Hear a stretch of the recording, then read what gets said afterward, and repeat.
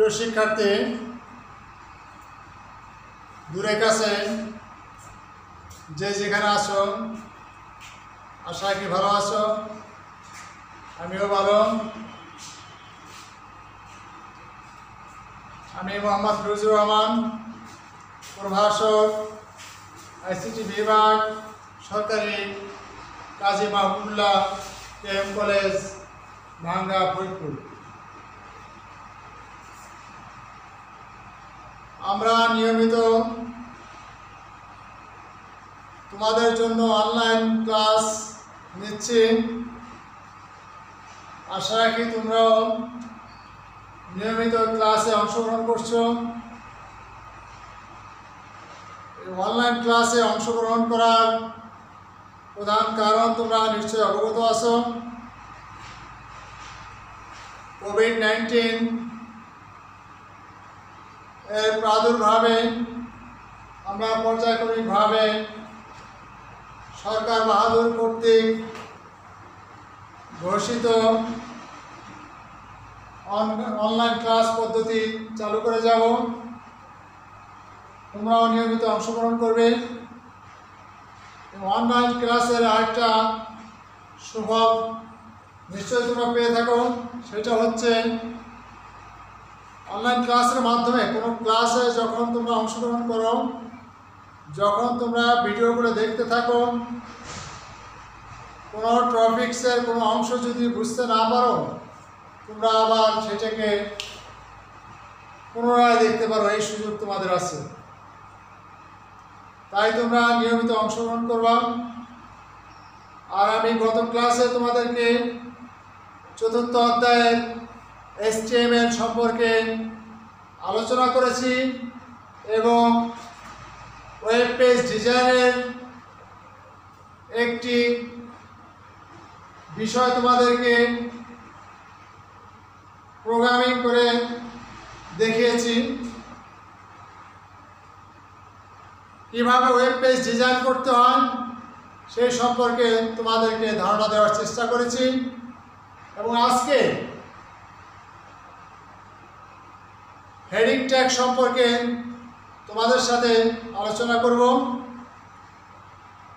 Heading ট্যাগের কাজটা হচ্ছে যে কোনো লেখাকে ওয়েব পেজের কোনো লেখাকে ছোট বড় করা, অর্থাৎ বড় থেকে পর্যায়ক্রমিকভাবে ছোট করা যায় এবং ছোট থেকে বড় করা যায়। এই হেডিং ট্যাগের ছয়টি স্টেপ রয়েছে। ওয়ান থেকে সিক্স পর্যন্ত। অর্থাৎ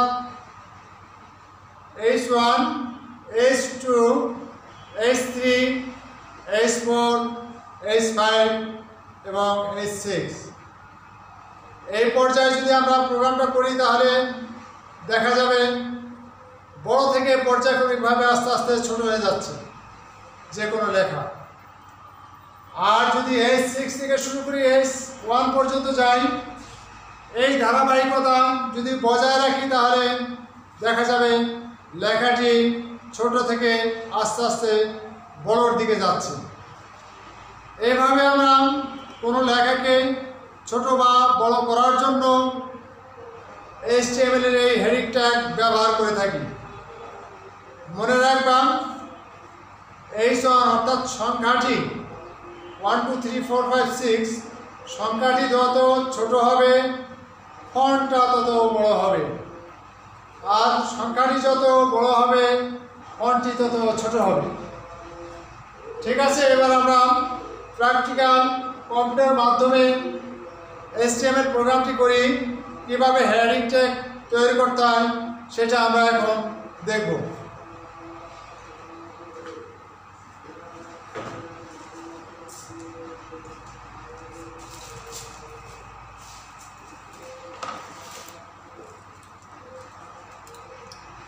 তোমাদেরকে গত ক্লাসে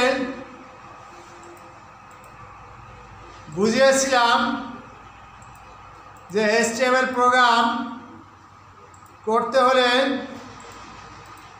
কিছু ট্যাগ সম্পর্কে ধারণা রাখতে হবে।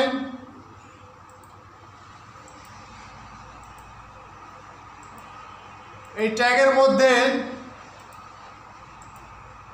দুটি ট্যাগ রয়েছে যেটি সবসময় কাজে লাগে। অর্থাৎ একটি হচ্ছে ওপেনিং ট্যাগ বা স্টার্টিং ট্যাগ অপরটি হচ্ছে ক্লোজিং ট্যাগ বা এন্ডিং ট্যাগ আর এসটিএমএল প্রোগ্রাম যে কোনো উইন্ডোজেই করা যাবে। তবে উইন্ডোজ ভেজে অর্থাৎ Windows seven Windows ten Windows sixteen এর যে কোনো উইন্ডোজে করা যাবে, কিন্তু উইন্ডোজ ভেদে কিছুটা তারতম্য, কিছুটা পার্থক্য, অর্থাৎ বেসিক কাজ একই, কিন্তু অপারেটিং সিস্টেমটা একটু হয়তো ভিন্ন। আমি এখন উইন্ডোজ সিক্সটিনে অর্থাৎ উইন্ডোজ ষোলোতে তোমাদেরকে এসটিএমএল প্রোগ্রামটা অর্থাৎ হেডিং ট্যাগ সম্পর্কে দেখাবো। প্রথমে আমরা স্টার্ট বাটনে যাই স্টার্টিংয়ে যাই। স্টার্টিংয়ে ক্লিক করি, করার পরে এই ডেস্কটপ আসবে, এই পরিবেশটা আসবে। এখান থেকে আমরা এই যে বি ডি যে কোনো একটা অ্যালফাবেট ক্লিক করি। করার পরে এখানে এ থেকে জেড পর্যন্ত যে অ্যালফাবেটগুলো রয়েছে, আমাদের প্রয়োজন উইন্ডোজ। তাহলে আমরা ডব্লিউতে ক্লিক করলাম। আমরা আগেই জেনেছি যে এসটিএমএল প্রোগ্রাম করতে হলে কিছু বেসিক আইকন বা বেসিক কিছু বিষয় অ্যাপস থাকতে হবে। তার মধ্যে যেমন ব্রাউজার থাকতে হবে, ব্রাউজারের মধ্যে যে কোনো অপেরা থাকতে পারে মজিলা ফায়ারবক্স থাকতে পারে ফর্ম থাকতে পারে ইন্টারনেট এক্সপ্লোয়ার থাকতে পারে। আর এই এসটিএমএল লেখার জন্য যে পেজটা থাকবে ব্ল্যাঙ্ক পেজ সেই পেজটা নোটপ্যাড অথবা নোটপ্যাড প্লাস প্লাস থাকতে পারে। আমরা তাহলে উইন্ডোজের মধ্যে ইন অবস্থায় এই নোটপ্যাড বা নোটপ্যাড প্লাস প্লাস পেতে পারি। তাহলে আমাদের যেতে হবে এক্সেসরিজে উইন্ডোজ এক্সেসরিজ এক্সেসরিজে ক্লিক করি। ক্লিক করার পরে নোটপ্যাডে ক্লিক করি। নোটপ্যাডে ক্লিক করার পর একটা ব্ল্যাঙ্ক পেজ আসলো। এই পেজটা আকারে ছোট আছে। আমরা এটাকে ম্যাক্সিমাইজ করে নেই, অর্থাৎ বড় করে নেই। বড় করে নিলাম। এবার আমরা এই পেজটায় কী লিখব? কিছু ট্যাগ লিখব। অর্থাৎ কী কী কাজে ব্যবহার করব ট্যাগগুলো হেডিং ট্যাগ তৈরি করার ক্ষেত্রে। অর্থাৎ হেডিং ট্যাগ তৈরির ক্ষেত্রে বা আমরা কোনো লেখাকে ছোট থেকে বড় বড় থেকে ছোট করার জন্য এই যে ট্যাগগুলো ব্যবহার করি সেই ট্যাগ এখানে লিখব। আর আমরা জানি যে দুটি ট্যাগ অর্থাৎ স্টার্টিং বা ওপেনিং ট্যাগ এবং ক্লোজিং বা এন্ডিং ট্যাগ এই দুইটা ট্যাগ অত্যাবশ্যকীয়। এই দুটি আমরা ব্যবহার করব। আর এই ক্ষেত্রে হেডিং ট্যাগের ক্ষেত্রে যেহেতু এটি অক্ষরকে ছোট বড় করার ক্ষেত্রে ব্যবহার হয়, সেই জন্য এখানে আমাদের হেড বা টাইটেল না দিলেও চলবে। এইটা দেওয়ার কোনো প্রয়োজন নাই। তাহলে আমরা প্রথমেই জানি যে এসটিএমএল করতে হলে প্রথমে আমাদের এসটিএমএল লিখতে হবে। অর্থাৎ অ্যাঙ্গেল ব্র্যাকেটের মধ্যে এসটিএমএল লিখব আমরা। Angle bracket H T M L অর্থাৎ শুরুতেই আমরা এস টি এম এল লিখব এবং শেষেও এস টি এম এল লিখব এস টি এম এল লিখে ইন্টার দিয়ে নিচে নামাই নিয়ে আসি কাটশটটা এবার আমরা লিখব বডি অর্থাৎ আমরা এই বডি যে কন্টেন্টটা এইটা অবশ্যই প্রত্যেকটা এস টি এম এল প্রোগ্রামের মধ্যে বডি অত্যাবশ্যকীয় এবং এস টি এম এর অর্থ অবশ্যই প্রিয় বডির মধ্যে আমরা জানি যে এটা শ্বাস সংক্ষেপ বা মূল বিষয়বস্তু। ধারণ করে থাকে কন্টেন্ট করে থাকে। অর্থাৎ এখানে আমরা লিখব বডি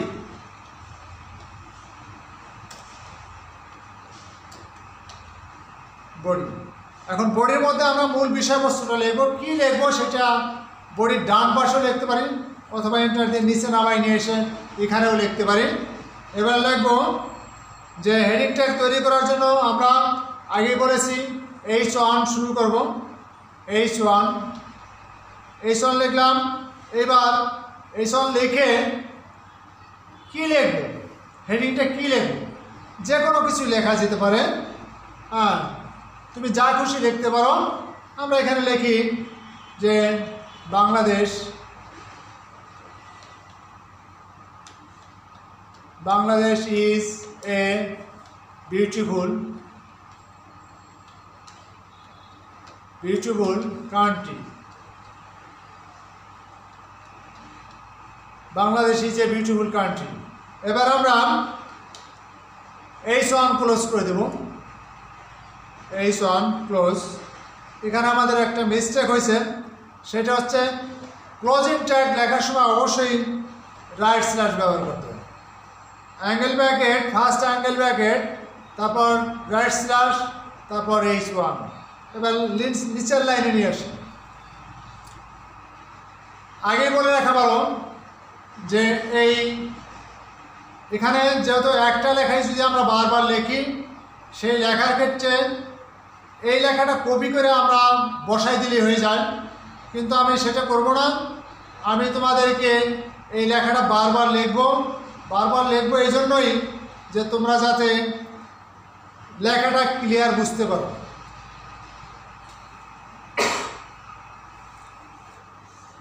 এবার লিখব এইচ টু এইচ টু আবারও একই লেখা লিখি Bangladesh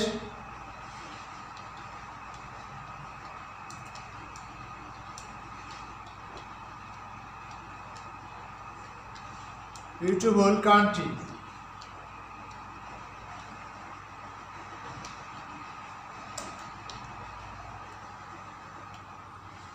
Right slash H2. Third line H3 আবার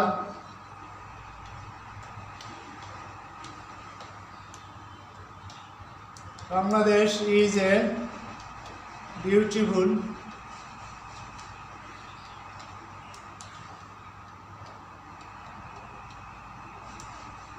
beautiful country. Right slash H3. Next time H4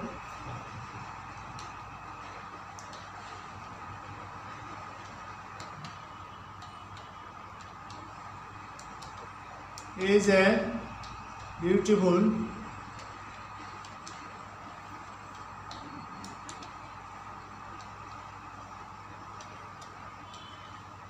reachable country export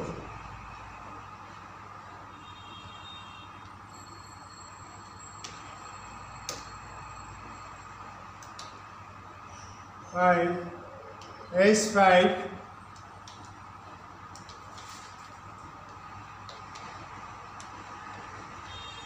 Bangladesh is a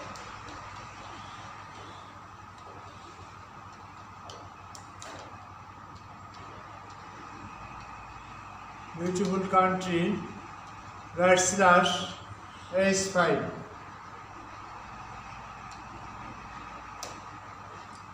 last one. H6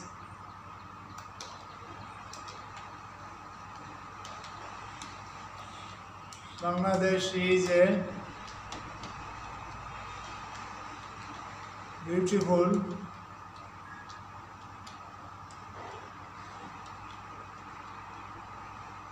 country A6 অর্থাৎ, এই যে একই লেখা বারবার লিখলাম, এই লেখাটাকে আমরা কি করতে পারি? আবার কপি করেও নিয়ে আসতে পারি। একবারে কপি করেও এটাকে আমরা নিয়ে আসতে পারি। ঠিক আছে? তাহলে, এবার আমরা কি করব? আমরা এবার বডি ক্লোজ করে দেব। বডি এবার এসটিএমএল ক্লোজ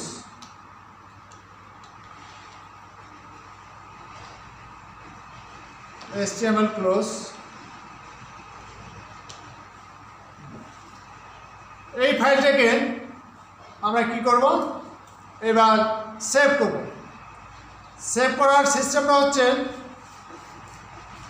স্বাভাবিক যেভাবে আমরা এমএস ওয়ার্ডের কাজ করি ফাইলে গিয়ে সেভ করি ফাইল ক্লিক করলাম, এবার সেভ অথবা সেভ অ্যাজ ক্লিক করব সেভ ক্লিক করলাম, এরপরে একটা ডায়লগ বক্স আসলো, এই ডায়লগ বক্সের মধ্যে আমরা কি করব? ফাইলের নাম লিখব। কি লিখতে চাই? অর্থাৎ যা লিখব সেটি সেভ হবে, অর্থাৎ আমাদের এক্সটেনশন সিস্টেম করতে হবে। তাহলে আমরা এটার সাথে সামঞ্জস্য রেখে নামটা দেই নাম দিলাম হেডিং ট্যাগ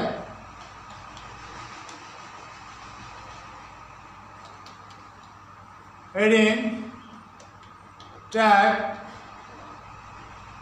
এই নামে মনে হয় একটা ফাইল যেহেতু রয়ে গেছে, এটা দ্বিতীয়বার সেভ নেবে না, কিন্তু আমি হেডিং ট্যাগ ওয়ান দিয়ে দিলাম। Heading tag one dot S মনে রাখতে হবে যে আমরা S M word sorry M S ওয়ার্ডে যে ফাইলগুলো সেভ করি, সেখানে শুধু যে কোনো নাম দেওয়া ইন্টার দিলে বা সেভ বাটনে ক্লিক করলে ফাইলটি সেভ হয়ে যাবে।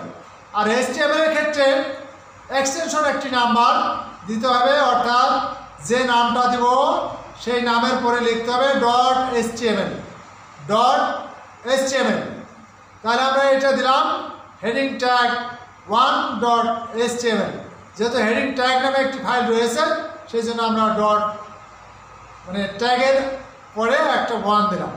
এবার সেভ বাটনে ক্লিক করব। সেভ সেভ করলাম ফাইলটা সেভ হয়ে গেছে হয়তোবা।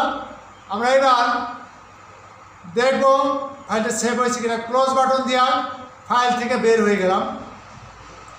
আমরা এটা থেকে বের হয়ে গেলাম। বের হয়ে দেখব যে ফাইলটা আমাদের সেভ হয়েছে কি হয় নাই।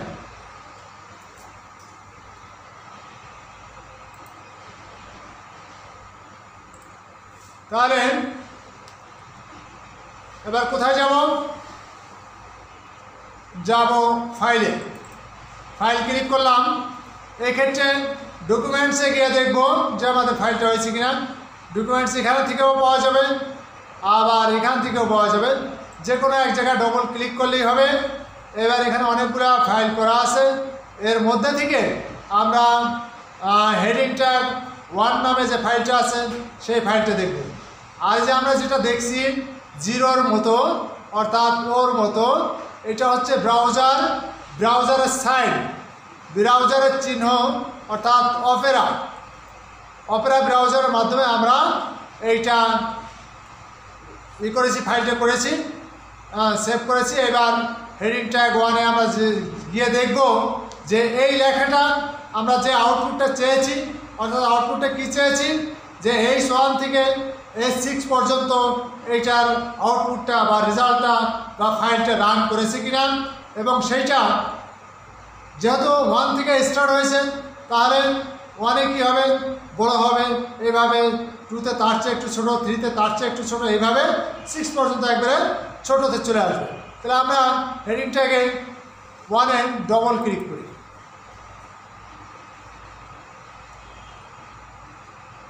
ক্লিক করার ফলে আমরা দেখলাম যে ফাইলটা রান করেছে। অর্থাৎ আমরা যেটা লিখেছিলাম, Bangladesh is a beautiful country অর্থাৎ এক্ষেত্রে আমরা দেখলাম যে ফাইল ওয়ান থেকে ফাইল সিক্স পর্যন্ত ফাইল হেডিং ওয়ান থেকে হেডিং সিক্স পর্যন্ত, যেহেতু আমরা করেছি, সেহেতু আমরা ওয়ান থেকে সিক্স পর্যন্ত পেয়েছি, যেহেতু আমরা বলেছিলাম যে যখন সংখ্যাটা ছোট হবে ফন্টটা তত বড় হবে এবং সংখ্যাটা যত বড় হবে ফন্টটা তত ছোট হবে।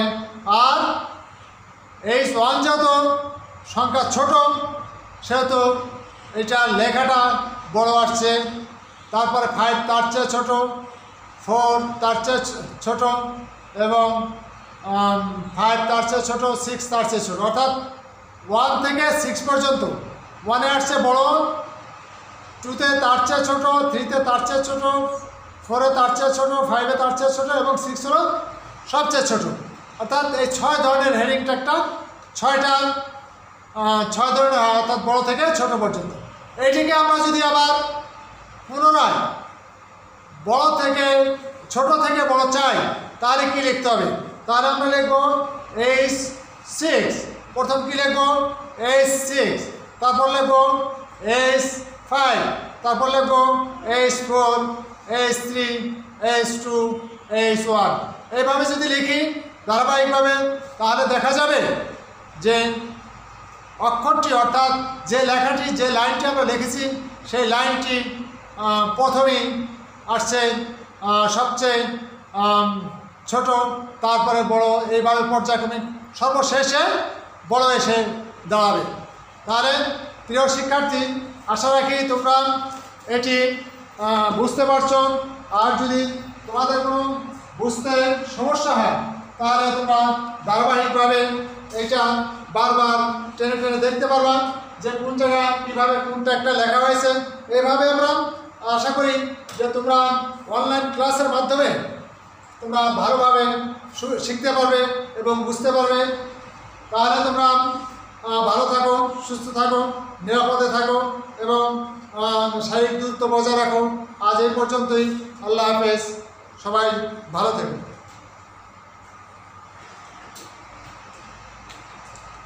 Yeah,